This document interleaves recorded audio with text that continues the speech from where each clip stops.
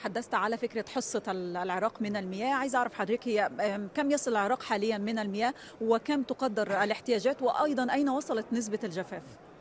حقيقة هو هذا موضوع طويل الواقع لكن أقدر أختصر أنه سابقا كان كل مياه دجلة والفرات تأتي للعراق بعد يعني هاي لحد سنة التسعينات من القرن الماضي بعد إنشاء مجموعة كبيرة من السدود الخزانات تغيرت المعادلة أصبح النهرين مسيطر عليها وكمية المياه اللي ترد هي كمية ما يطلق من سدود الخزانات التركية.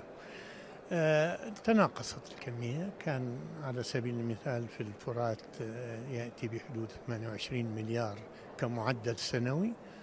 تناقص تدريجيا إلى 15 مليار حاليا ونتوقع أن ينقص إلى تسعة وثمانية بالعشرة مليار.